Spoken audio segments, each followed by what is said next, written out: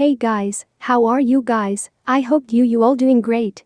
So in this video we are gonna see, what if female Orochimaru obsessed with Naruto instead of Sasuke, this is part 5. And if you want more then please leave a like, share with your friends. Also subscribe for more amazing video, let's get started. Three heiresses walked through a part, if the village away from the clan district.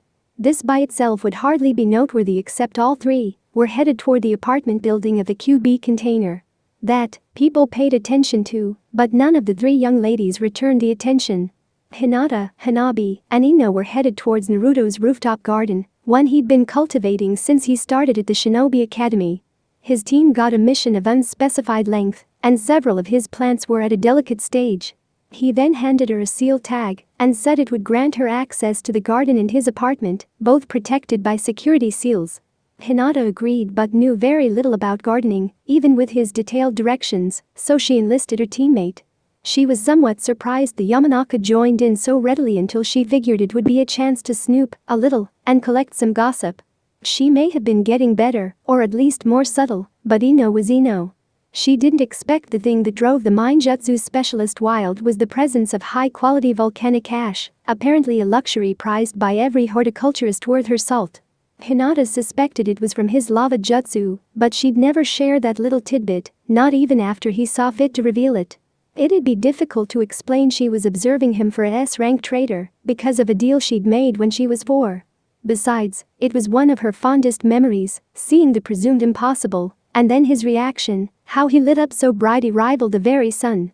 How it was made all the more impressive by how many times he failed to manage it, and besides for moments of doubt, he kept going. It was inspiring, enough to allow her not to falter in her own pursuits. If anyone knew, they'd call her a traitor and likely a coward, but she didn't care. It was her life and she wouldn't live it how others thought she should. But that didn't mean she'd forego all responsibilities.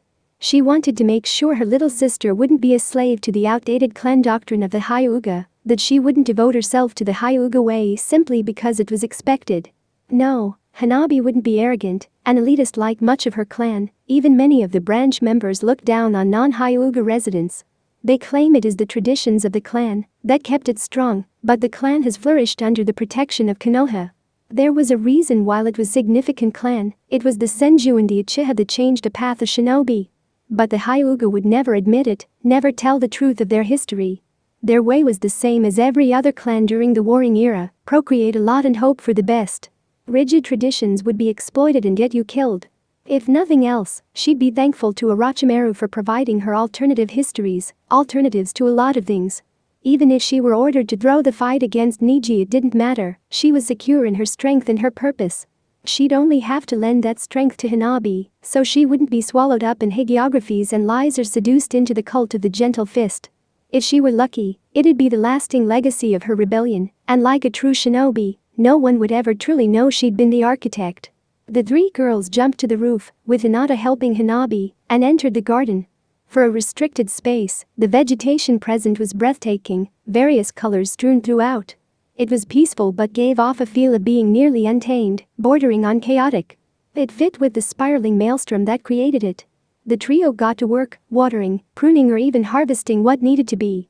A crop of heirloom tomatoes, deep purple in color and quite plump, were especially ready. I bet Sasuke-kun would really like these, tomatoes are his favorite food. Ino chirped and Hinata responded non-committally, not wanting to encourage talk of the Uchiha. So and here it came, the fishing expedition. There aren't a lot of people that know much about Naruto and I didn't think he was close to any of the rookies outside of Shikamaru and Shino, so would he pick you to tend to his secret garden? As I've said before, Ino, he was low on options and knew I liked flower pressing. He figured I could manage it, I knew better, and that's why I asked you. But he at least rusted you somewhat, you need a seal to even get in here. I suppose he does. How'd you manage it? We talked, Ino. The story is the same, after our joint exercise we had dinner and just talked. Must have been some talk, I've tried talking to Sasuke-kun for years, and it's gone nowhere. One night and you're getting keys to the apartment. Maybe I should take lessons. Ino stated with a shit-eating grin. What's so significant about getting keys, Nee-sama? Ino is suggesting Naruto likes me in a romantic sense. Does he? No, Imouto, oh, he doesn't. Ino just has an overactive imagination. That's good, besides Neji Nii-san hates him. Don't allow Neji's feelings to dictate too much to you, Hanabi-chan. He hates the rain when he gets wet, so him hating someone isn't that remarkable. Hi. In the Shimmering Leaf, one of Konoha's nicest hotels, sat Ichiro Kurosawa. A once handsome young man chestnut hair and a slim physique. His face was boyish, his eyes a forest green. He was 5'8, not incredibly tall but not short either. He'd used his looks and his position as leader of Ishval to charm many women over his 30 years of life, but that was in the past. Since that demon came to Ishval, the people called him the Crimson Tiger, but Ichiro knew the boy wasn't a beast, but something worse. He stared into the bathroom mirror, looking at himself cursing how he'd lost it all. His chocolate brown kimono and matching sash, both made of the finest silks of his home, he once prided himself on giving off the impression he was an aristocrat, a noble of one of the major lands. A sophisticated and cunning tactician. Few of his sources of pride remained intact, however, and he couldn't help but curse his fall. At first, he'd been happy his plan to lure Kushimaru and Raiga into attacking the Leaf Ninja had worked. Those two were too busy chasing down the squad, made all the more difficult as the resistance forces were acting in concert with the Konoha Ninja. All of his enemies were distracted and thinning themselves out, what could be better? Except, the demon apparently took the words of the resistance fighters to heart as they, likely, filled his head with tales of their oppression. How they worked for very little and much of the richest were hoarded by their once leader. As if they could understand the responsibilities of leadership. It required much so it deserved equal reward. They all had enough, no one starved. Why wasn't enough satisfactory? Because they were selfish and spiteful. He wasn't soft-hearted like his father, he wasn't going to just give all of his rightful wealth away. Their selfishness unleashed that thing on him, the boy and one other were smuggled out of Ishval, but they found time to plant a trap in his office. It was only the worn floorboards of his second-story office that saved his life from the inferno that consumed it. But it wasn't unscathed, he suffered burns over three-fourths of his body. The left side of his face was now disfigured, and he needed the help of a cane to walk. That was why it took them so long to arrive in Konoha, he required the aid of a carriage to transport him and his samurai. A loyal fool that took the codes of Iron Country far too seriously, but he'd be useful. Before he left, Ichiro wanted Uzumaki Naruto dead. No punishment the old Hokage could levy would deter the man, he'd already lost his position. He remembers the old man intimidating him with such ease, as if all before those aged eyes were mere ants for him to crush or spare at his whim. How he said the payments Konoha had been receiving for the last year wasn't enough to forgive what he'd done, and how a team of administrators from the Fire Country's daimyo would be here soon to help with the transfer of power. He'd be one of many voices in a land he was meant to rule. It was insulting. No, it was beyond that. It was profane. Ichiro hated the Hokage, he hated the missing nin, but more than anything, he hated the Uzumaki. If he'd only died Ichiro wouldn't have lost everything but his revenge. Sarutobi Asuma sat in a training field trying to get lightning to arc in his hand. It had been about a month since he got a note delivered from a short-tempered panther that wasn't inclined to give his name. That he delivered said note in the middle of the night, in Asuma's bedroom with nothing having been disturbed, meant the former guardian ninja didn't sleep well. The note, from Naruto, stated if he wanted to learn the supersonic chakra flow he'd have to, at the very least, compete the first nature transformation exercise for lightning progress had been minimal.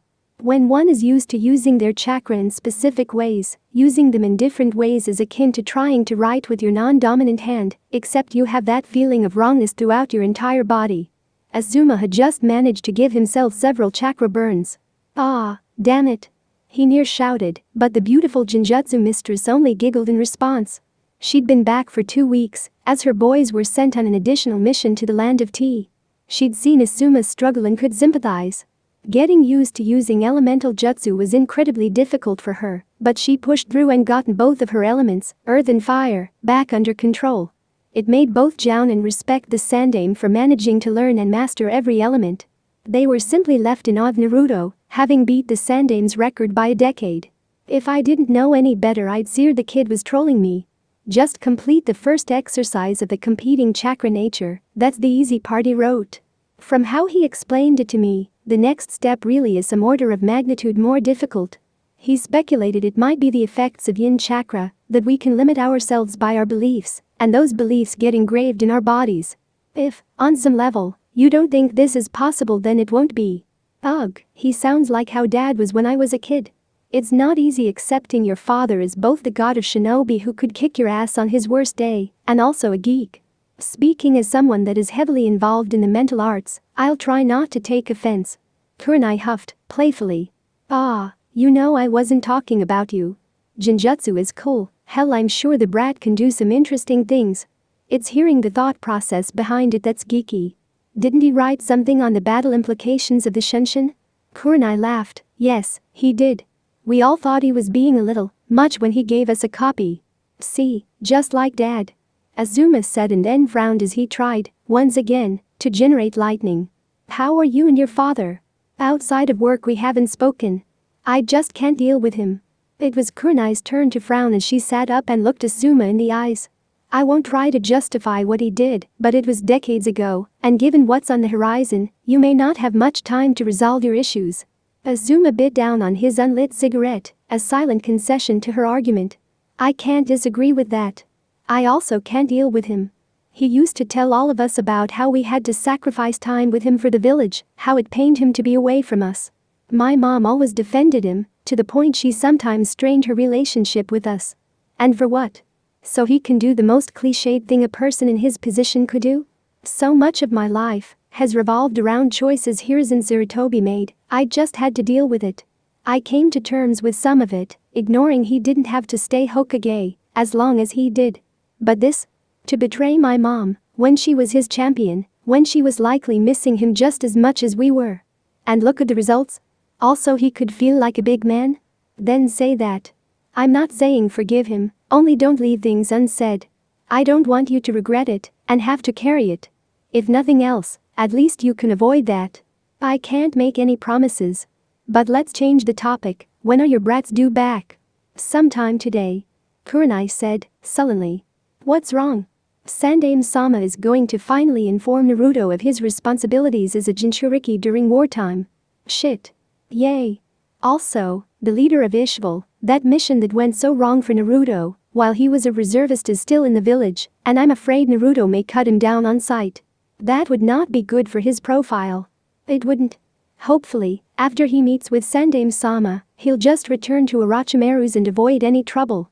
Kurenai said, having zero faith in her luck. Naruto-san, you've been really quiet. Shino observed as the trio ate breakfast before starting their final push into Konoha. It wouldn't take long to arrive to the village as they'd kept an impressive pace before stopping the night before. As they ate, the Aburame and Nara noticed their teammate seemed lost in thought.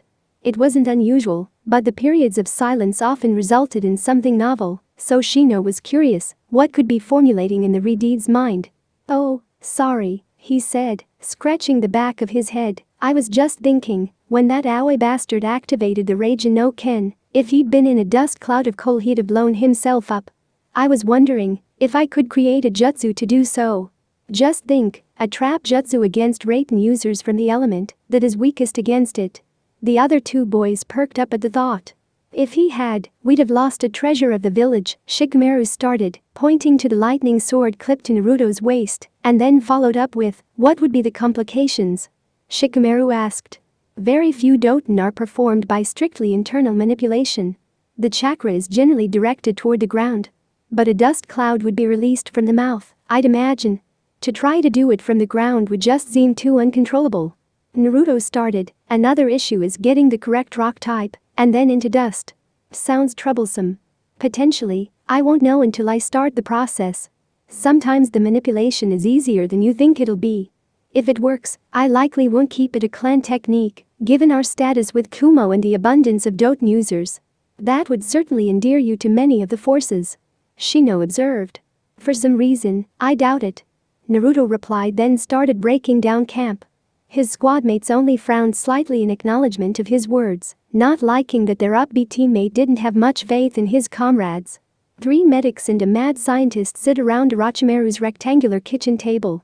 After Naruto's query about the poison mist jutsu Orochimaru thought it wise to enlist the help of Tsunade and Shizune. They'd likely take a different approach than either she or Kabuto would. It didn't take long for Tsunade to conclude the original jutsu was a necrotoxin, meant to cause rapid and expansive cellular death. The challenge was to adapt that to other types. It seemed all were energized by this new puzzle. Orochimaru had managed to create a myotoxin, one mimicking some of her summons. She could even control if it simply paralyzed or was eventually fatal. Tsunade and Shizune were able to create a neurotoxin variant.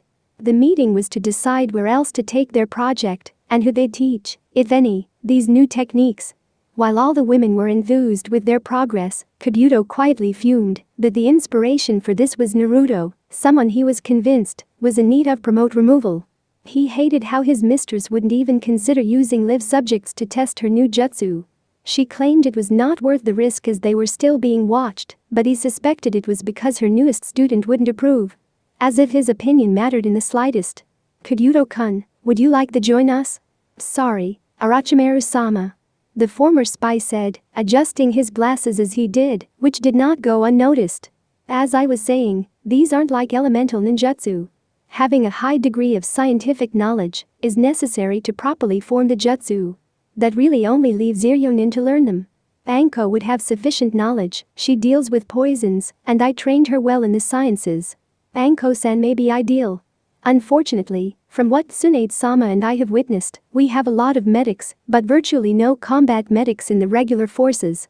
I'd hesitate teaching a non-combatant these, and I can't estimate how long it'd take them to get back up to par.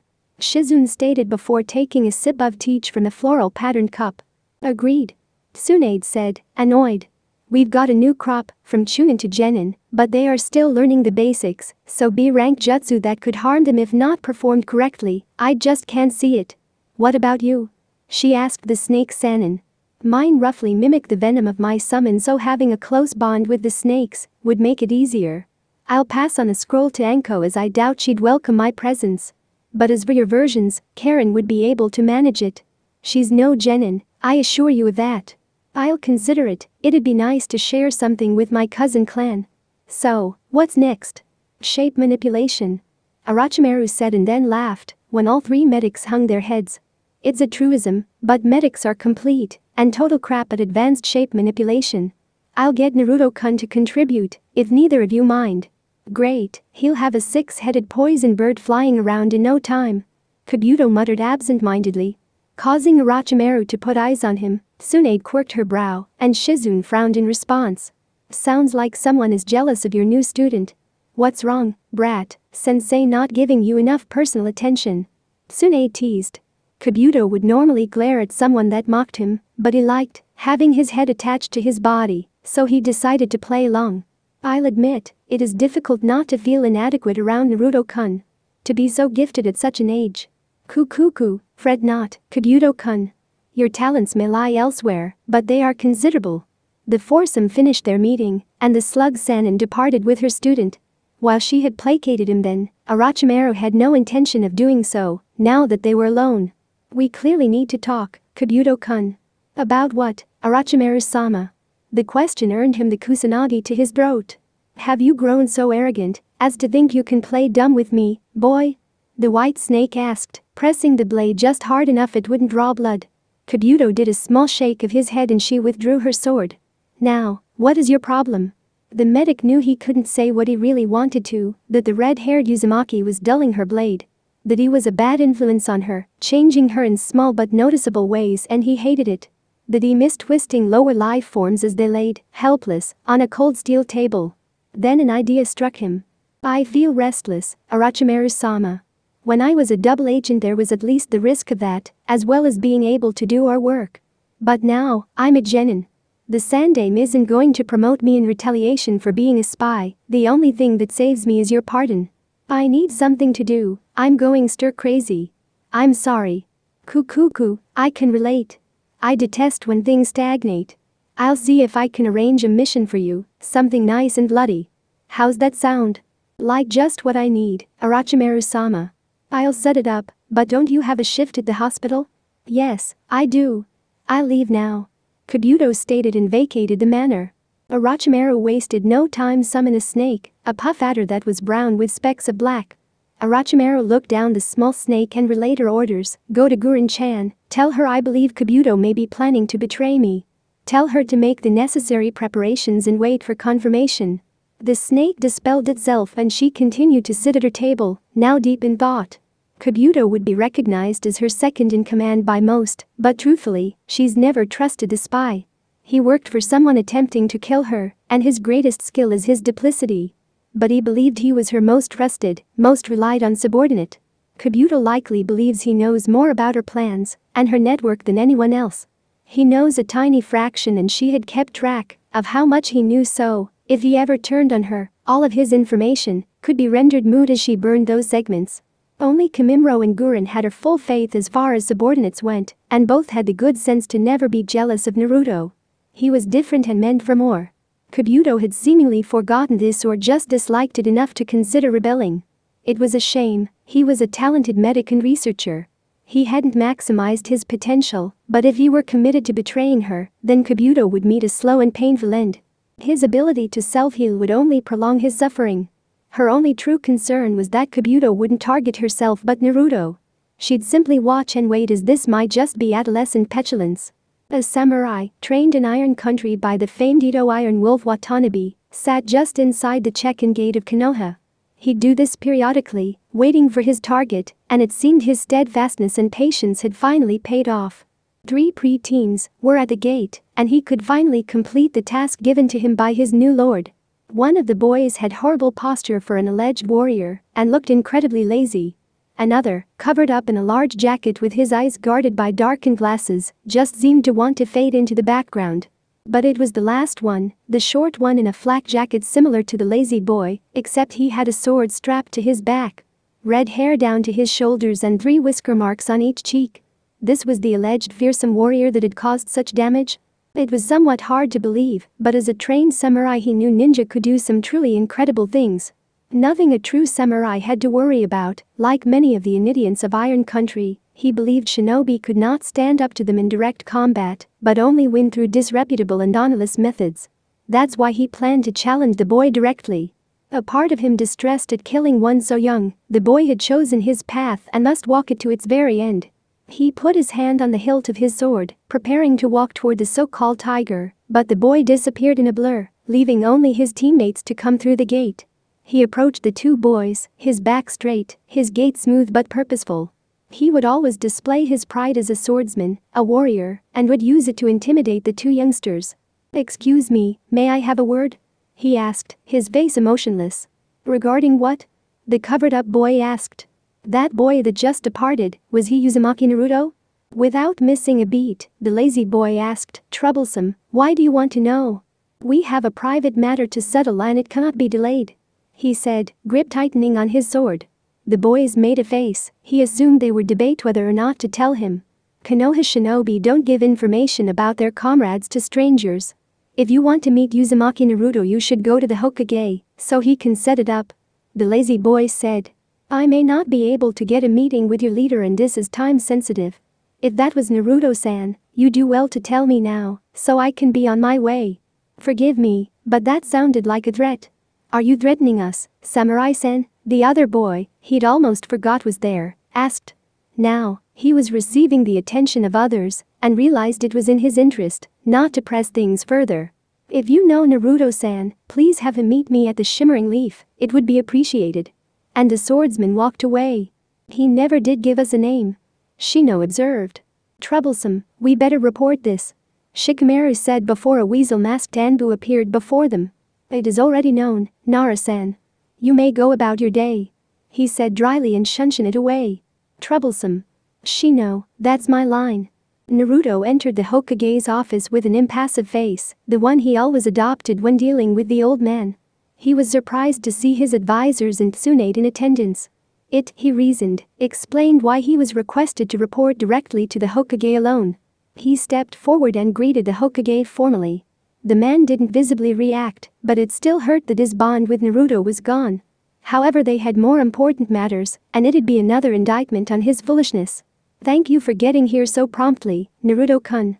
As you can surmise, I didn't call you here for a debriefing on a standard C rank. Instead, I am here to inform you of some important information. Naruto kept his impassive facade, but internally wondered what could be so important to him specifically.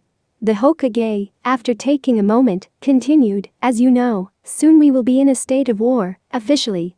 When that happens, you as a Jinchuriki will no longer be in the traditional chain of command. All hidden villages do this, we just don't let it be known who our Jinchuriki are. In fact, until it is declared the war has ended you'd be under the direct command of the sitting Hokage. Your status, Naruto, would be equal to the Jounin and Anbu commanders, Homura added. During the Third Shinobi War, your mother was not on the battlefield for long, instead she was in charge of domestic security. Her Fuinjutsu knowledge and talent with barriers made her ideal for keeping Konoha safe from any parties trying to attack us directly. Most of the shinobi forces that knew her were too afraid to contradict her, and none questioned her status when Hiruzen gave the order. Koharu stated. We haven't decided what your overall status would be but I am leaning towards Chunin Commander. You should start studying strategy and tactics in case. You should also keep in mind, there will be pushback, but you have to find a way to navigate it. Hiruzen finished and the Uzumaki lost his face, feeling overwhelmed but more so angry. If only I'd been a Chunin for longer than five minutes. How do you expect the largest section of the shinobi forces to listen to a 12-year-old that just got promoted? Naruto asked, seethingly. I know this isn't ideal Naruto-kun, but it is what must be done. We'll be firming up our plans for the invasion and relaying it all to you soon. Now, if there isn't anything pressing you need to share you are dismissed. Naruto unhooked something from his back and turned toward Tsunade, who'd been quiet this entire time, as her voice was already hoarse with rage. I retrieved the Raijin no Ken, here you go Oba-chan, Naruto said, throwing the hilt to the slug Sannin and departing before any questions could be asked. He also missed the fond-smiled Tsunade, Koharu, and Homura had of the lost Senju treasure and reminder of their family and sensei respectively. It was short-lived. He's not ready for this. Tsunade said, rasply. He has no choice but to be. People are guaranteed to die, you're going to put the responsibility on him with no previous command experience? Once again, this is what is needed, Tsunade. Whatever scheme we go with, Kurenai won't be there. I can't run the risk of someone intentionally putting him in harm's way. And this will show the others that he isn't some monster, but truly one of them. Conversely, Naruto will see he isn't as detested as he thinks he is. I know it's my fault I've allowed that impression to continue, but he'll see. Some are hesitant because he is so capable with minimal training from us and Orochimaru's interest, but I believe he'll sit in this chair one day. The path starts now. Your machinations of late have left a lot to be desired, but on this, I agree. Naruto thinks only a handful of people see him for who he is, some more simply tolerate him. That belief can't continue. He needs to see that his comrades are not bigots or potential enemies. That he can depend on them and they will acknowledge his value. There aren't many ways to do that, this invasion offers an opportunity. Koharu supplied, surprising all in attendance. Then why not start preparing him sooner? Tsunade asked. He needed to increase his combat effectiveness to that of a respectable Jounin. From the reports I've seen, he's reached that level, and that's without the Kyuubi chakra. So, what, you think he's an S-class ninja? Tsunade asked sarcastically. No, don't be foolish. But I do believe, with adequate information and time to plan he can kill one. The Iron Country trained samurai cursed missing his target he returned to his lord, only to be admonished for not considering the boy was going to report to the Hokage. It made sense so he left the hotel immediately, his destination the Hokage Tower. He never made it, having seen the Uzumaki out and about. Deciding to do a little research, as the residents had been incredibly tight-lipped about anything retarding the boy. The samurai assumed it was because he wasn't a resident, and as such they didn't trust him. He stalked the Uzumaki, watching the boy purchase various fruits from a stand. The interaction was stilted between the operator and the ninja, both appearing to tolerate each other and no more. He then watched as the boy entered a convenience store and exited with bottles of water, storing them in a scroll, along with the fruit before darting off. It was difficult to keep up without alerting the younger male, but the samurai managed it. He followed the Uzumaki onto a field, a likely training area that was inhabited by a copy of the Redeed and three children. The children, two boys and a girl, were shins deep in a small pond going through hand-to-hand forms, while the copy of the Uzumaki looked on. The one he'd followed handed the other the scroll and then disappeared in a puff of smoke. The samurai hid behind a tree and watched the kids train and complain about the exercise. Boss, why do we have to do this? Konohamaru asked. It'll increase your speed and has none of the drawbacks of weights or resistance seals. This is how I trained when I was your age, and I certainly didn't have anyone around to make me a freaking pond, you ingrates. That was cool, but my sandals are wet and it feels weird. Moegi chimed it. No one told you to wear your sandals. Naruto shot back. But I didn't want muddy feet. I made the bottom stone. That was meet with a round of O's from the academy students. Soon the children switched to weapons training before the Uzumaki called the training session to a close and gave them the fruit and water. The samurai watched as the alleged demon chatted and joked with the kids before sending them on their way. The Uzumaki then whistled a tune before speaking, You can come out now. That shocked the samurai, he thought he'd gone undetected, but it was clear he was wrong. He walked purposefully, his navy blue kosode and matching hakama swaying in the wind. His katana strapped to his side, held in place by a white obi. The sword itself, very basic with a black cord wrapping, a standard tsuba and a black scabbard. He stopped just 3 meters shy of his target. Perfect distance for a speedy blade draw. One cut, one kill and it'd all be over. I am here on behalf of my lord, Kurosawa Ichiro-sama, he started and saw a flash of rage appear in the boy's eyes, the blue seeming colder now. He's alive? And he sent you here all the way from Ishval, told you to infiltrate a shinobi village with the goal of assassinating one of its ninja? He asked in disbelief. No, I accompanied my lord here, I infiltrated nothing. Where is he? The samurai was taken aback by the clipped, demanding tone. At the Shimmering Leaf, room 334. Not that it matters, I was ordered to cut you down and I will. Prepare yourself, before he could even get in his stance, the samurai was violently toppled, being shoved into the ground and having a wave of chakra flood his system. He could turn his head to see a masked individual holding the Uzumaki back, single-handedly. The Uzumaki, having had his blade drawn and in a perfect position to stab him in the neck, had he not been saved. The Uzumaki was pushed back and made no attempt to attack again. The masked man buried his knee into the samurai, causing the man to grunt in discomfort. What you did is not only illegal but very foolish, Samurai-san. Please don't think I saved you as where you're going will be much worse than the swift death you were about to receive. How? He placed you under an illusion before you ever said a word to him. When I whistled. Courtesy of a fellow clansperson. Though it wouldn't have fooled a shinobi, Naruto-kun. It needs more work. Everybody's a critic. Well, what do we do now? You dispel and let the original know Ichiro-san is being guarded, so you won't be able to reach him. We'll see. The shadow clone said, before dissolving into a cloud of smoke. I wasn't even facing the real one. The Anbu agent didn't respond, only tying up the swordsman and preparing him for transport to T and I. The real Naruto received the information, but it almost didn't register, as he was awash in painful feelings and memories. Kaio taking the brunt of the explosion on the bridge, being dead before he hit the water. Riku, buried to her neck, her face a vision of pain and sorrow as Raiga gloated over her corpse. Her death hurting all the more because it was Naruto's suggestion they split up for the day. Yogami barely having enough strength to drag them onto the small ship, often delirious before he made it to Tsunade and Shizune. The last he remembered of the man was a brief smile and a thanks, he slipped away while Naruto was blackouted. There was virtually no one Naruto hated.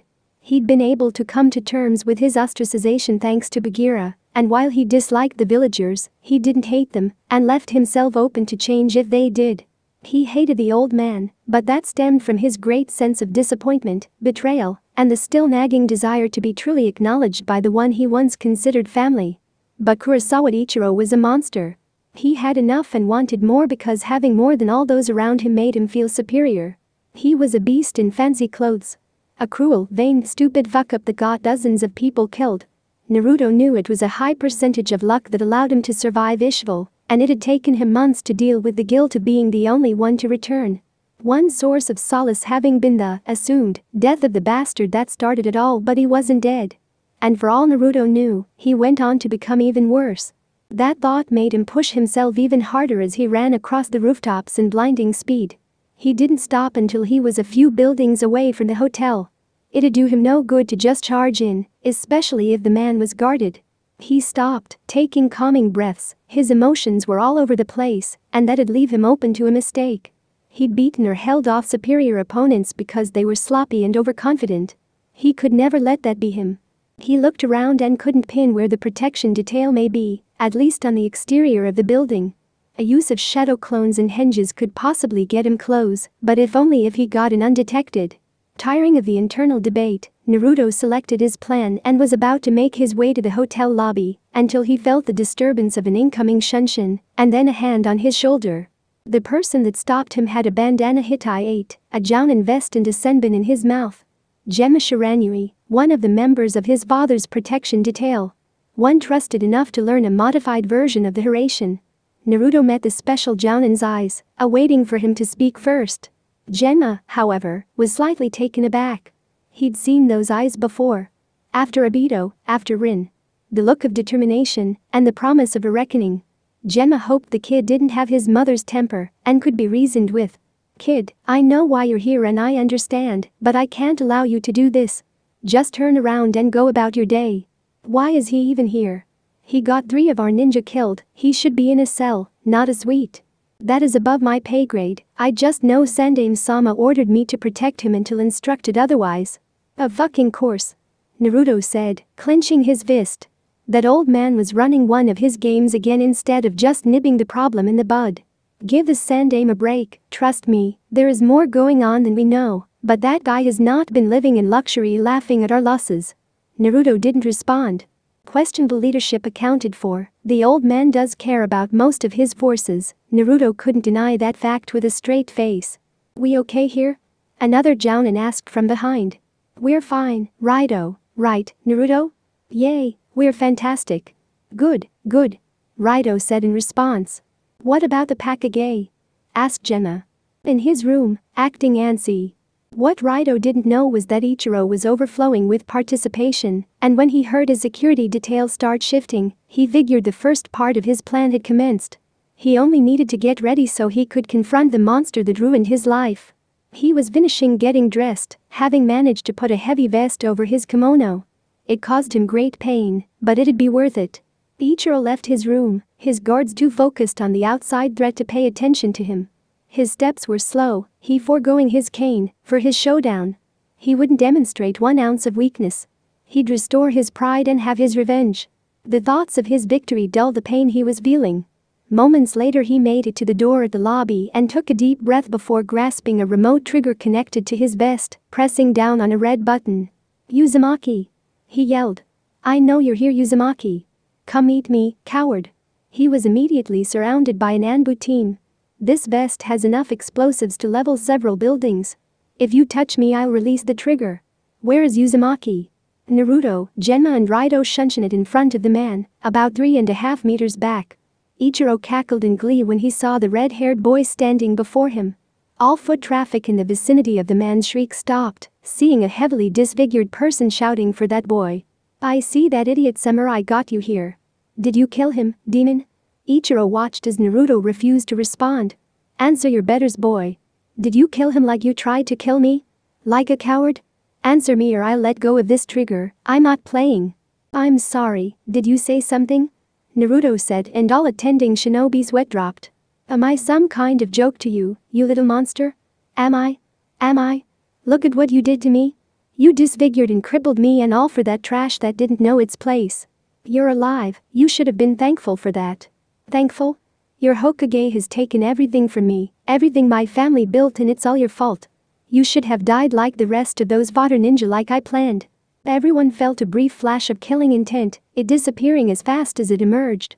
Those ninja had more guts, character and worth than if you'd managed to live 100 lifetimes. You're wrong. All of you are only good for following the orders of your betters. That stupid samurai was the same.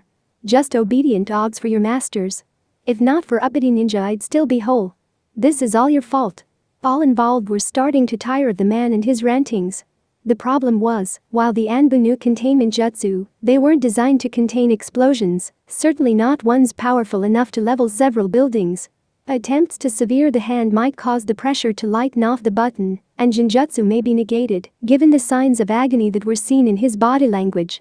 It's pretty clear he wants to kill Naruto, and there is no way they could allow that to happen. Not only because of his Jinchuriki status, but due to the interests of each of the Sannin and the Sandaime, each of the Anbu in attendance shuddered to think what would happen if the Uzumaki died to a civilian nutjob. Naruto, too, was aware things were escalating rapidly and something needed to be done. He was fortunate that he'd been preparing for a mad bomber and had developed a few jutsu to deal with explosions. He performed five hand seals, Dragonjablanka horse's snake and thought water style. Great gummy sphere. The sphere of multi-textured liquid rapidly approached Ichiro and engulfed him before he could move, the Anbu had managed to get out of the way. He was shocked to be suspended in a gel-like prison, and while he could move somewhat he couldn't exit out of the construct. He stared at the Uzumaki, shocked and irate. He couldn't believe his guaranteed victory was slipping away from him. He took a look at his cage, it had roughly a 6 meter diameter. He was confident it couldn't quell the explosion, and he'd likely take some of the villagers with him, even if the Uzumaki got away he'd be blamed for it. Without a second thought he released the button and died at the epicenter of the blast. If he could have somehow seen his attempt he'd have shrieked in displeasure as the gel did contain the blast and the lack of sufficient oxygen for a fire to ignite. The Anbu had taken precautions and created mud walls when they witnessed the man release the trigger, and while they budged, they were not breached. More squads of Anbu showed up with the Sandaime and Tsunade in tow.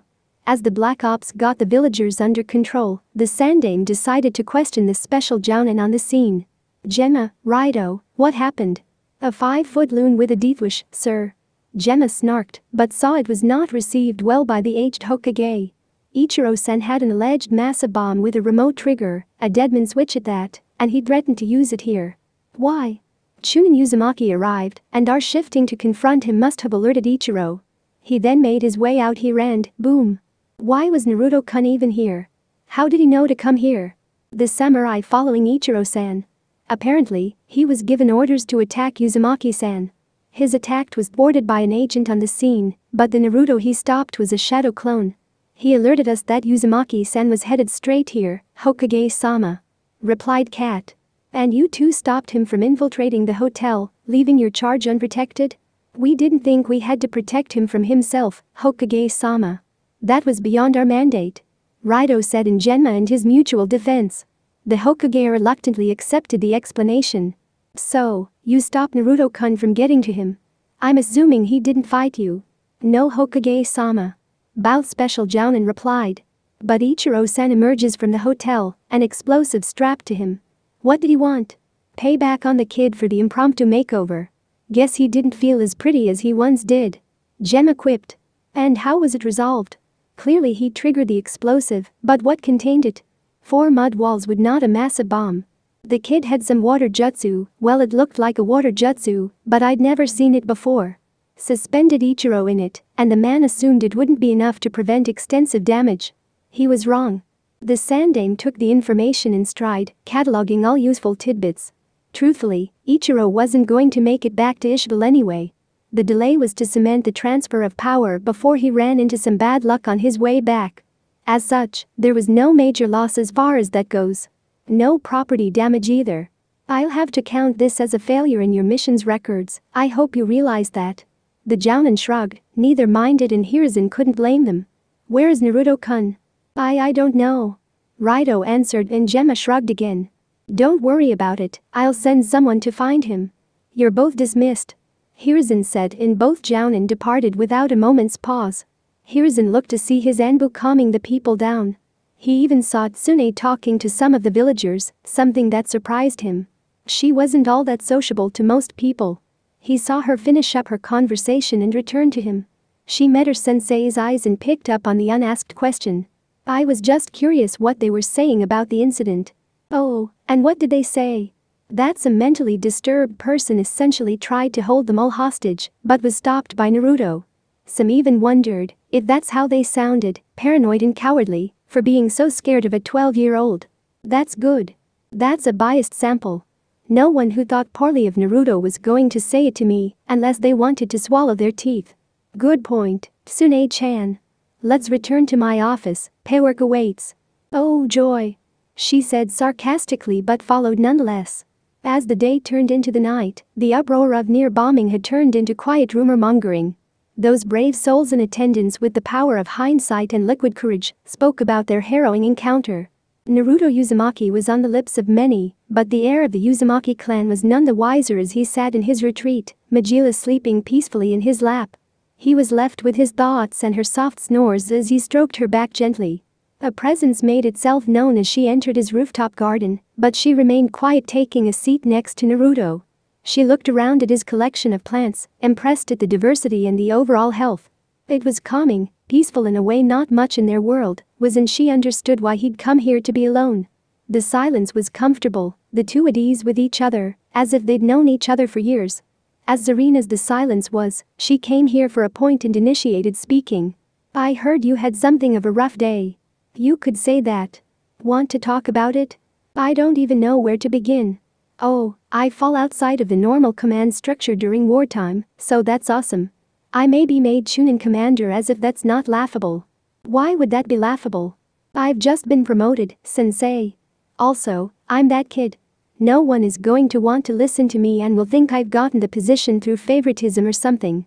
Oh, and this little conflict I'd be leading people into only exists because a collection of overpowered psychos want to rip the Kyuubi from my gut, and it is guaranteed some if not many of us will die. And if that wasn't enough, that gutless tyrant had been alive this entire time and could have done God knows what in retaliation for me trying to kill him. You got that all out of your system? Kurenai asked. I'm not throwing a temper tantrum, it's all true. No, you perceive it as true. Sometimes I forget you're still 12. Only for a few more months. Naruto muttered, but Kurenai ignored him. I'll concede, you being put in a leadership position given all that has happened isn't ideal, and it is something the Sandaime should have considered while holding you back. No one wants war, but there have been tensions between the five great villages since the end of the last war. But this is partially for your protection. He can't have you assigned to a foolish risk. It isn't pleasant to think about, but your value is greater than almost any other single shinobi because you protect us all. As far as the prejudice of the shinobi corps, it isn't as widespread as you think it is, at least not anymore. There was a time many of us were cautious or afraid. Some have experienced the power of a Jinchuriki, many have felt the power of the Kyuubi, so leaving the control and containment to a child was not easy to accept. But eventually the fear passed and shame was left.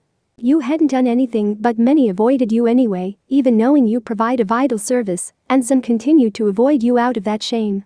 Those who didn't could see you were a very sweet boy that was dealt a bad hand.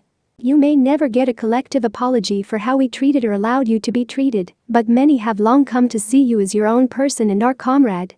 The Akatsuki goals are of their own choosing, and they are a threat, to say you're somehow responsible is stupid, and you know better so I won't waste any more time on it. And as for this Ichiro person, I know you hate him. Even with him dead you still likely hate him, but you need to let it go. I can't. Why not? Because he made the lives of his people worse for no other reason than it benefited him. He had the power to change things and he didn't, he just watched them suffer and did nothing. People like that, I hate. Must have felt good to strike out at him in huh? I guess. And today, you foiled his plans and watched as his scheme was his undoing. That was nice, right? Not really. Naruto said, shaking his head. Oh. Why do you think that is? Because revenge is empty and doesn't change anything. Maybe. I've seen people lose themselves to revenge, and I've seen others get it, and it helped resolve their issues. If it isn't an obsession, a little revenge is fine, I think. But you didn't get revenge. So then why did it feel empty? Naruto asked, looking at the red-eyed woman. I think you could slay every person like this Ichiro person in the elemental nations, and it wouldn't matter. Why? Because the person you're really angry at, the one you really want to hurt is the Sandaime. You see his worst qualities in people like Ichiro. Those who use their power solely for their benefit and watch their subordinates suffer. Like he did with you. I think there is a part of you so angry at him that if you hadn't suppressed it, you'd be blinded with rage and hurt. But people like him, when out of missions, you can stop them. You aren't powerless nor are you subjected to their rule. I already know I hate the old man. Yes, but you always sound divorced from it. You know the emotion is there, but you've walled it off. That's not good Naruto. It means you can never really get past everything, you'll only think you have until something taps into that latent hatred. Naruto chuckles. Orochimaru Shishou asked me if I could forgive him the night before we left. What did you say? That I didn't know, if things had been different then maybe. I guess I was lying. No, it just means you're as complex as everyone else. I'll tell you like I told Asuma, you don't need to forgive the Sandaime to resolve things with him, but as long as you carry around that hatred and that hurt it'll be an invisible weight on you. I'm not sure I know how to resolve things with him. I've gotten all I need from him. Really? Kurenai asked, voice laced with skepticism. Because I believe, if you think really really hard there is one question at the center of this, one answer you need you don't have. The Genjutsu mistress finished and then departed, after ruffling Naruto's hair. The Uzumaki would spend the rest of the night in his garden, thinking about his sensei's words and so much else. Rasa looked at his children, they were set to leave for Konoha today. The invasion of AIM would begin a week after their and the other Suna forces' arrival. He watched them with a mixture of pride, worry and regret. All three had matured after the Chunin exams, and he'd seen fit to promote each. Temari worked on her over-reliance on her war fan, Kankuro got better at operating multiple puppets. Gaara had demonstrated the largest change. No longer was he lost to his own madness, an infliction borne by Rasa's choices, the Kazekage lamented. He trained harder, working on his endurance in Taijutsu. His sand techniques improved, and he had even started making amends to the villagers. It was not easy to send them to a war zone. He was their leader and truly hadn't treated them as his children, but he had a father's worry all the same. His children needed to be strong, Suna needed to be strong. Everyone needed him to be stronger still. Strong enough to be near heartless to his children, sacrifice his wife and keep Suna afloat with no support from the daimyo. He'd done it for so long, the cold veneer eventually just became what he was. No one liked him, and it was arguable no one truly respected Rasa the man. They endured Rasa the Kazekage because they had no choice, because no one could lead Suna as he had. He wanted to bridge that gap. He wanted to be a family again, to embrace his children as a father should. They managed to grow closer to each other, and he hoped they had space for him. But he may never see them again, there was no guarantee they'd return, or that the invasion would be successful. So, why could he only give commands and tell them to do Suna proud? Why couldn't he tell them he was proud and loved them dearly? that he was a cold man because he believed it to be the only way to accomplish anything, to keep his village viable? The loss of his wife, by his own design, only exacerbated his embrace of a facade. Because the guise of the Kazekage had been the only way he'd known how to act for so long, and it couldn't change in a day, on a whim. The trio left, none referring to him as father, but as Kazekage-sama. Perfectly respectful and accurate. That's what he'd been to them and they may depart from the world, thinking he only saw them as weapons and tools, as reflections on Suna's might and potential. The children of a monster, an unfeeling man that would do anything for power. In the quietest parts of his mind he'd admit his jealousy for Minato Namikaze. He'd ask, why was he so beloved? Didn't he sacrifice his child? Didn't he do all he could to keep Konoha strong? Were they really so different? To Rasa's mind, they weren't. And yet, Minato was respected in every nation, every hidden village. Iwa hated him, feared him, but respected him. Rasa was just a wielder of a second-tier Kekkei Genkai and leader of the weakest of the Big Five, only Kiri's civil war changing the designation. So many burdens, so many decisions. But Suna was recovering, they were gaining their strength and pride back. Just a few more years and everything would be worth it. A few more years. Orochimaru led Naruto to a secret lagoon Tsunade and she would visit when they were younger. She relished the opportunity to indulge in a brief respite, one of her major plans had recently come together. Naruto also needed it. Since he'd been informed of his leadership position and the assassination attempt by that lowly worm, Naruto had been pushing himself harder and harder in his training. His only real breaks were missions, as even if his physical body was resting, he still had clones undertaking some task for him. She could appreciate the diligence, but he'd been nearing a burnout at the exact worst time for one.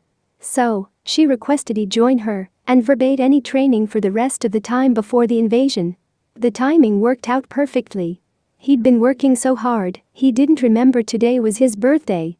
His teammates and friends were planning something at the recently finished Uzumaki Manor, but she'd have him all to herself before then.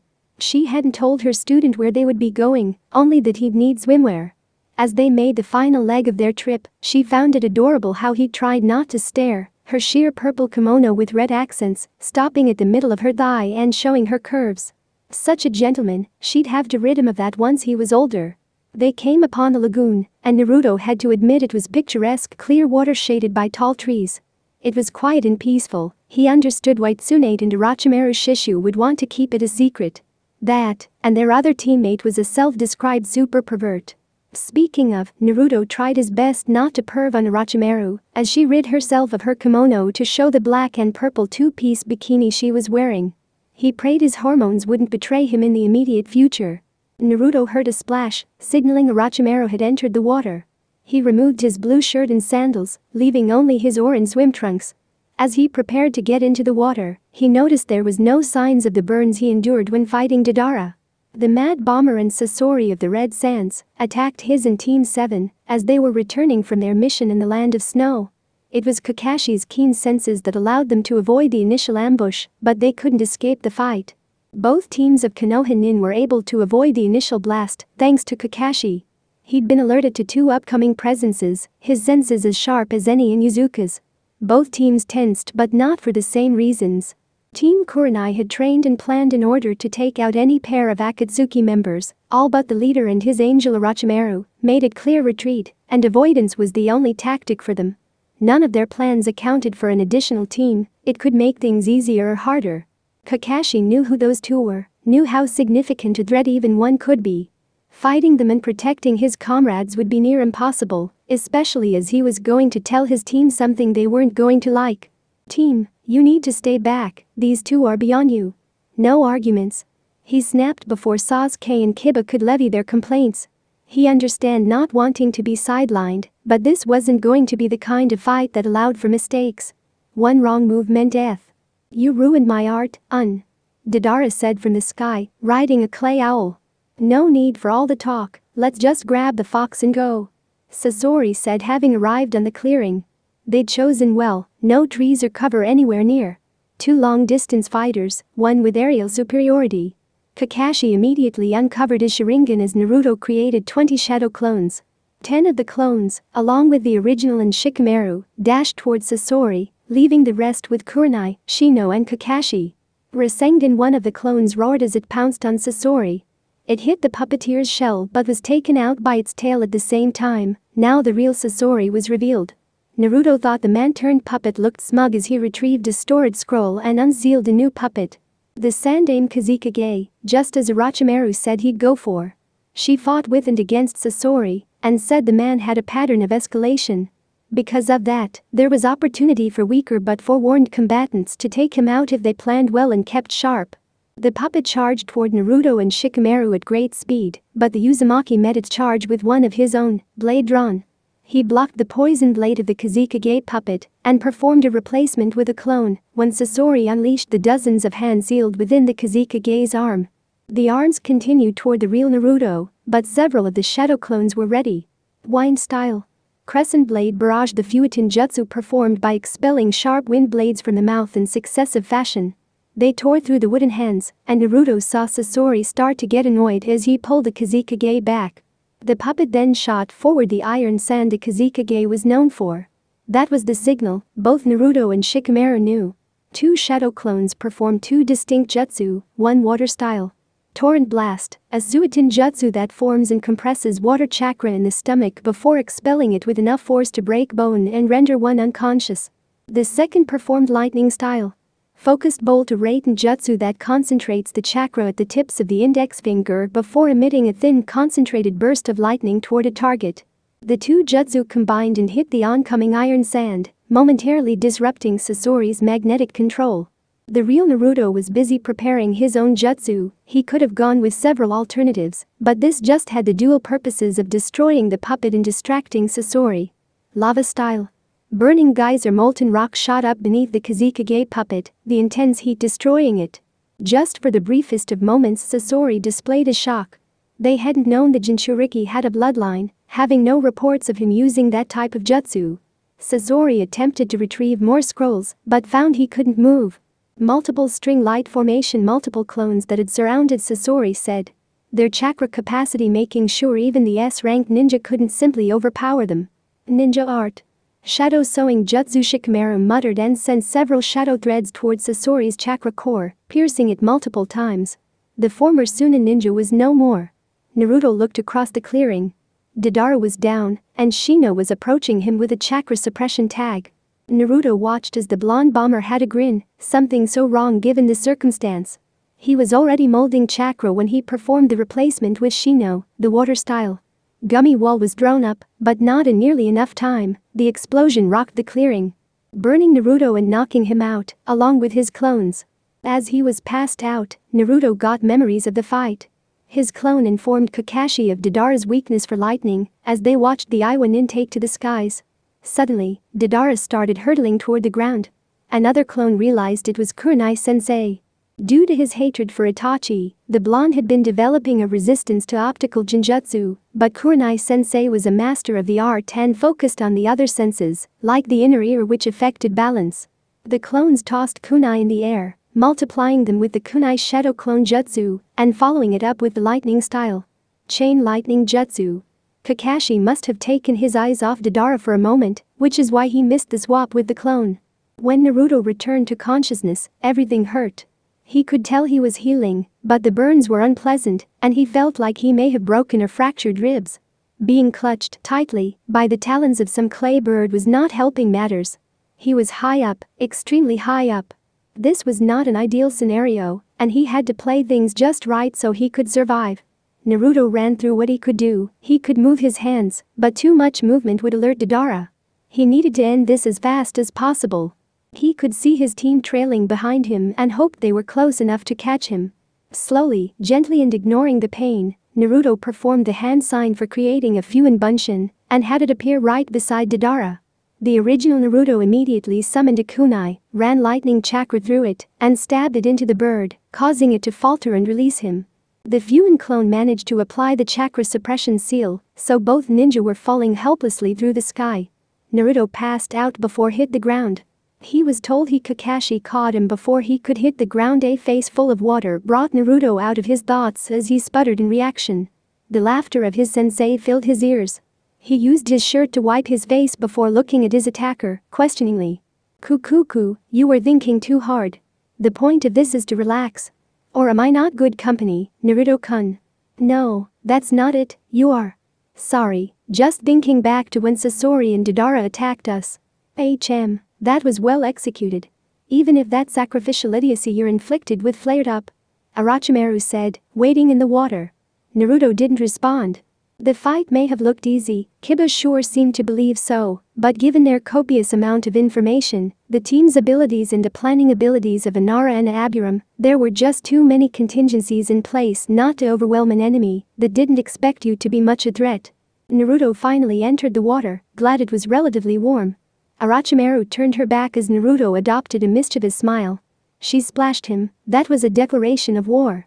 If he didn't retaliate she couldn't really respect him, he reasoned. What he was about to do was because of her, she was sorta asking for it. He immediately became uncomfortable with that line of thought, but persisted to execute his revenge. Naruto cupped his hands together, leaving a narrow space between. Channeling some Suiton chakra into his hands, he forced a low-powered and tiny stream of chakra through the opening, dousing the back of Orochimaru's head. She swiftly turned to her apprentice and saw him whistling while looking everywhere but at her. She smiled. So, you want to challenge the snake Sannin? She spoke with false menace. I'm sorry, what do you mean, Shishou? Naruto hamming up his innocent act but a smile kept appearing on his face, a sign of his guilt. Oh, oh my apprentice has grown arrogant, do you think you're the only one to master all five nature types? Of course not, Orochimaru-sama. I just did it before adolescence is all. He said innocently, but a hint of smugness laced his words. He had to swim out of the way of oncoming water wave. And several more after that. Kukuku, is retreating all you can do? I thought you had more fight than that, how disappointed Orochimaru was interrupted as she felt pulled underwater. Once submerged she saw it was a localized whirlpool that drug her under. It dissipated and she was free to move once more. Orochimaru cut through the water at impossible speeds, startling Naruto. She almost got him, attempting to grab him underwater, but Naruto used his chakra to submerge him further and then created more distance from his mentor. Undaunted, Orochimaru continued her chase, Naruto managing to narrowly avoid her several times. However, eventually his luck ran out and he was in the snake Sannin's embrace. Nowhere to run. She whispered in his ear sending a thrill to his core. Can we talk about this? About you attacking your dear teacher from behind? I was framed. We're alone. That's what they want you to think. Oh, really? And who is this they? Orochimaru didn't get a verbal response, instead she felt Naruto grab onto her and go underwater once again. She didn't know what to make of her student's newfound assertiveness until she saw a most displeasing vision, Konan, hovering above them and if she were here, it was more than likely pain was here as well. This wasn't good. She watched as Naruto made dozens of clones, and each began weaving hand signs. Water style.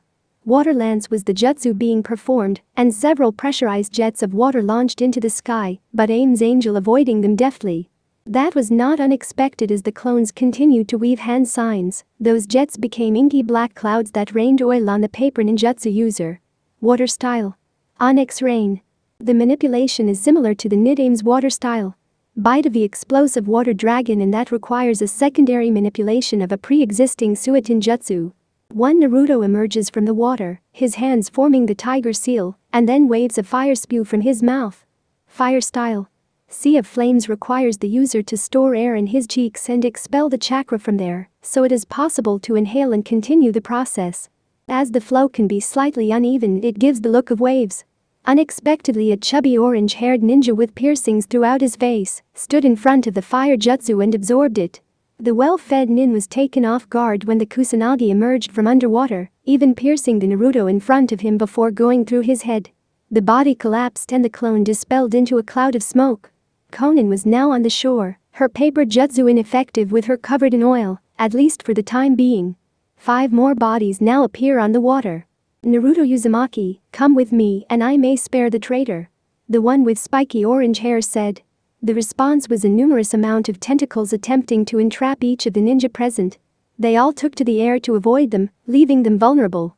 Several hidden shadow snakes break through the water's barrier and wrap around the multi-phase shinobi, intending to pull him down. Instead the snakes are severed by his bladed tail, and the remaining bodies are grasped by his hands. He gave a powerful pull, and Orochimaru was now on the surface. As the Asura path pulled Orochimaru up, the long-haired human path was closing the distance intent on taking the soul of the snake summoner. It arrived before she could react, hand around her throat, but when the Ningendo technique was activated, Orochimaru turned into mud. The human path didn't have time to consider its folly, as its feet were encased in ice, and a kunai with an exploding tag appeared in front of it, going off without leaving it any chance of escape. Two bodies were down and while not angered, Pain was not amused. Both Orochimaru and Naruto were running out of air, they'd have to go to the surface soon. They were outnumbered, and Orochimaru was quickly putting together these bodies may have some shared abilities given the Rinnegan each wielded. She had little in the way of information, outside of Pain being able to repel anything that came near him. It wasn't good, but she could turn things around, she had to. The Deva path watched as two olive-green snakes, of impressive size, came from below. One headed toward the animal path, another toward the Asura path. Almighty pushed the path spoke and the large summons were forced back, hitting several trees before dispelling. Running out of air and options, Orochimaru and Naruto came to the surface, each behind one of the paths, swords drawn. She chose the animal path, Naruto chose the Asura path. The Asura path's tail pierced Naruto before his sword could make contact which resulted in smoke, the animal path deflecting the Kusanagi, but not able to avoid the follow-up strike, decapitating it. Every Naruto left underwater came to the surface and began attacking. Most of the remaining clones were dispelled by the Asura path's projectiles and multi-arm attacks. The real Naruto tried to cut the Deva path, even managing to cleave into the chakra rod the path generated, but he was too slow to avoid the next one, as he took a stab to his right leg before being kicked in his midsection, flying away due to the force. The Asura path was now engaging with Orochimaru directly, her Kusanagi doing well, but not managing to put the path down. Without warning she was stabbed in the back at the near her left shoulder and stabbed in the stomach. She hit the water, barely managing enough chakra to stay on the surface before she was kicked in the face by the Asura path, hard enough to make her flip to her back. She looked to see the three bodies Naruto and she had managed to defeat had returned. Naruto saw one of the paths collecting the bodies and then throwing them into a thing before they returned fully healed. They were in trouble. He didn't have much time to think, creating a whirlpool, much more powerful than he had earlier, Orochimaru sunk to the bottom, taking advantage of the delayed death strike. Naruto summoned dozens of clones again and performed the ninja art. Smokescreen Jutsu, Naruto sent a clone underwater to get Orochimaru, removing the rods from her body, as the real Naruto did the same to his own. The Deva Path was not bothered by the smokescreen, activating his jutsu once again he blew it away, and from the sounds of it multiple clones, as he heard them poof. When the smokescreen cleared he saw the Jinchuriki and his master, both on their last legs. The surroundings were quiet, only the sounds of the birds chirping filled the area. The paths watched as the injured pair returned to their feet and made a desperate charge, but the damage had taken its toll. Both were stabbed multiple times but still alive. The Deva Path activated his universal pull technique, and Orochimaru helplessly flew toward him. With grim satisfaction, the Asura Path plunged a chakra rod into her heart, killing the turncoat. Her final punishment for thinking she could defy God wouldn't be her death, but knowing she failed to protect the motivation for her treachery, the Jinchuriki would die regardless. The disruption from the rod caused a shift in reality and all the paths saw it wasn't Orochimaru they killed, but the Naraka path. They all performed the Genjutsu dispel technique, but failed to try to be cast again. It was confusing, nothing was around to cast it. Nothing but, almighty push. The Deva Path yelled and expended a good deal of chakra to focus his attack. Soon he heard numerous poofs but the end of the birds chirping. It was an auditory genjutsu and given the amount of clones, the paths reasoned it likely came from the Uzumaki. They had no information on him wielding any genjutsu of note, and the lapse in intel had come with a cost. The rest of the paths were fed up, mimicking the real Nagato's emotional state. He saw Konan return, free of the oil and ready to fight once more, but he instructed the paper clone to dispel. He wanted to do this, for their blasphemous actions had arisen his ire. Deep in the forest, sat Orochimaru and Naruto. She'd healed given her special replacement technique, and Naruto was almost back to full capacity due to the Kyuubi's chakra. Naruto got confirmation his Genjutsu had been disabled, and pain would be coming for them soon. The Genjutsu, what he called Genjutsu. Chidori was him thumbing his nose at Kakashi, who claimed only a Sharingan wielder could perform his Chidori, when Naruto offered a jutsu trade. He was thankful Kurenai sensei had increased the team's Genjutsu training, including how to layer illusions and how to attack multiple senses. He welcomed the development as it was helping end his blush. Orochimaru had come out of her replacement technique completely naked and hadn't seemed fully aware of it until it was pointed out. The Sannin made a mental note to include some seduction training so he wouldn't fall apart at the sight of a naked woman. Shishou, they ended my Genjutsu. HM, were they fooled long enough to take one of them out? Yay, the one that healed the others, but it pissed them off so there's that. We need to increase our numbers and buy time, I know you hate it, but use the Edo Tensei? No, I'm totally fine with it. Naruto created two Yang release shadow clones with control seals implanted in them and retrieved the DNA samples he had. He performed the jutsu just as Orochimaru was doing the same. Two caskets emerged, while Naruto's clones just transformed into his two revived nin. When the techniques were done, Deidara and Kisame stood beside the Shodai and the Nidaime Hokage. Naruto gave Deidara some of the special clay the missing ninja died with, and gazed Kisame Samehada and the two took off, one in the air and one on the ground. The first two Hokage simply looked at Orochimaru and he in bemusement. You should have never created that jutsu, brother. I shouldn't have done a lot of things, but it's too late to change that.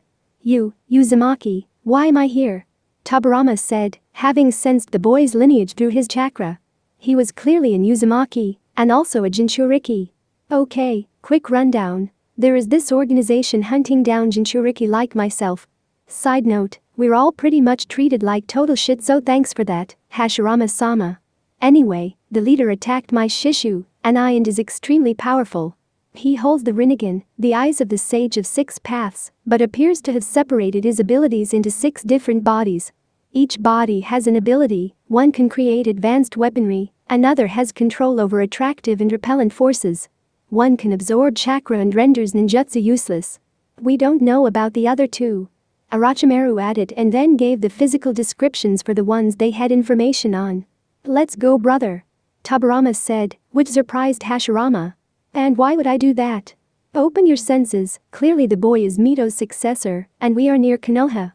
Who is to say this man won't target the village? Besides, the strapling is injured and can't fight as he is.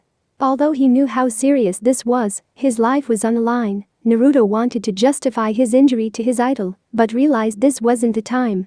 Fine, brother. As soon as he answered the forest shook with the sounds of high-yield explosives.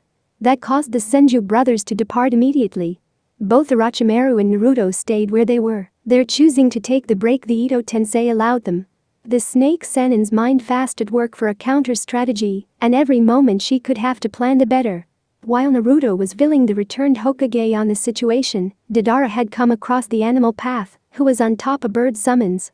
The explosion release users wasted no time attempting to pepper the path with his explosive creations, but the bird was agile in the air and avoided direct damage. The two flew above the trees and frustrated sat in for the once dead shinobi, so much so he forewent any offense, only focusing on speed to close the distance. Once he did he leapt off the clay bird and using his body exploded in the air. It took out the bird, but the animal path jumped off its summon right before impact and landed on a multi-headed dog. When Deidara reformed, he continued to lay explosive after explosive, but it only increased the dog's power as it grew more and more heads. The animal path summoned another animal, a rhino to accompany the dog as they tried to keep Deidara occupied, at least until the human path could arrive, as it was rapidly approaching. The animals were dealing damage, while the dog absorbed all of Deidara's offense, much to his annoyance. The bomb enthusiast started to flood the area with his C4 explosives and watched as not even the dog summons could handle it. The animal path too had succumbed but the area of effect was limited and the human path had not been infected and managed to remove the Edo soul before it could explode again.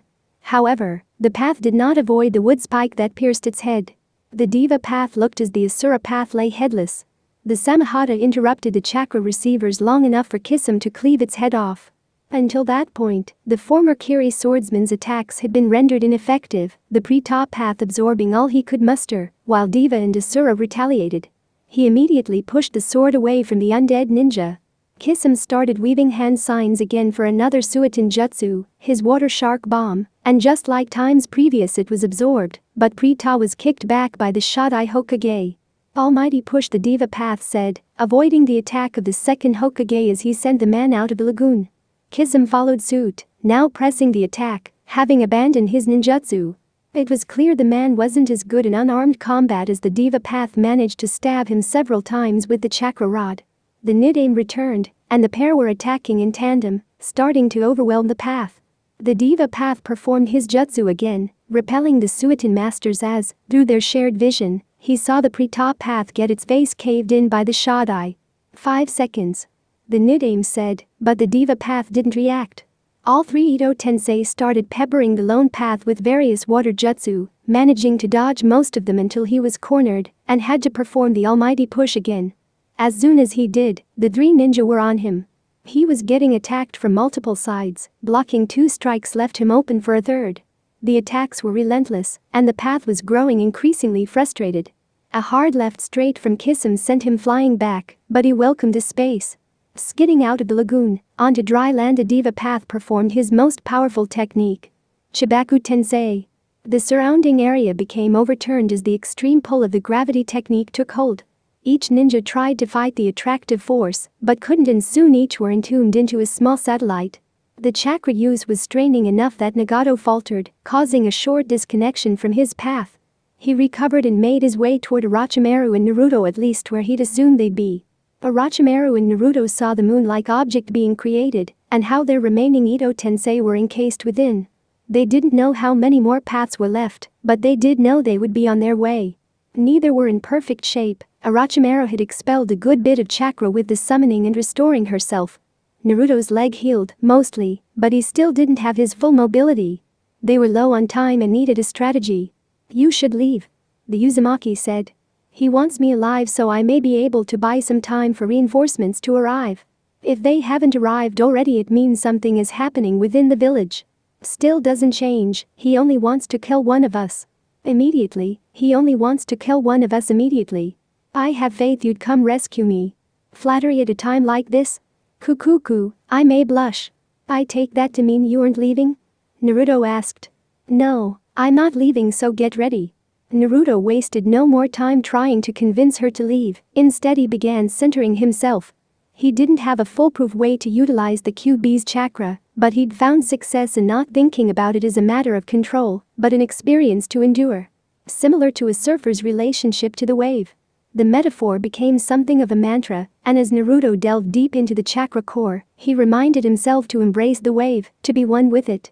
He repeated it over and over as he drew more and more of the Kyuubi's chakra out, going out of the zero-tailed state to form an initial cloak. One tail became two, embrace the wave, embrace the wave he thought as two became three, and he stopped pulling. Must you repeat that insipid phrase every time you abuse my power? Germaine? You know good damn well my name is not Germaine. I'm kinda busy here, and if you just tell me your name I wouldn't have to guess, Jiro. The Kyuubi scoffed and said nothing more, ending the conversation just in time for the Deva Path to arrive, alone. He pulled both Konoha ninja toward him, grabbing each by the neck and slamming them down. Naruto swatted the hand away with a tail, Orochimaru turned into mud, while the real Kunoichi darted toward Pain from his flank, Kusanagi gleaming in the sunlight. He let go of Naruto and created a chakra rod to meet the legendary sword. The rod was cleaved in two, but it halted its momentum enough to spin away from the next swipe. He grabbed Naruto's wrist, narrowly avoiding a Rasengan and tossing the boy away. He repelled Orochimaru when she attempted to attack his blind side, and she slammed into a tree. The Jinchuriki was back, taking furious swipes, but Pain defended the attack, kicking Naruto in the stomach in response, and then hitting him in the jaw. He didn't expect the Jinchuriki to absorb the blow, nor to grab his arm, and proceeding to kick the Rinnegan wielder in the ribs.